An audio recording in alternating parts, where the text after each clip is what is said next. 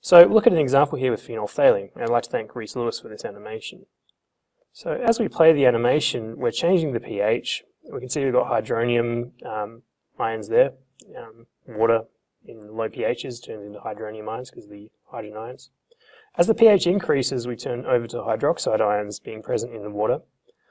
As that happens, we get a change in some of the bonds on the phenolphthalein um, molecule. And when that happens, we get a bit of a change in shape. We get a slight change in shape there. That change in shape leads to a change in the way that light reflects off of the phenolphthalein molecule.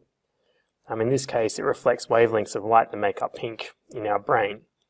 Um, when we reverse the pH, where we go back to being an acid, uh, the molecule changes shape back, and we get back to the colorless um, situation we were in. So the phenolphthalein, um, when it's in uh, acidic up to about pH of 8 or 9, um, it's colorless. So here we can see over here we've got a picture of the acid form where it's colorless, and over here where you can see the basic form uh, where it's pink. That cha subtle change in shape leads to the change in the way that light reflects off it, and that changes the, its color. So when phenolphthalein is colorless, it's in an acidic solution. When it's pink, it's in a strong basic solution.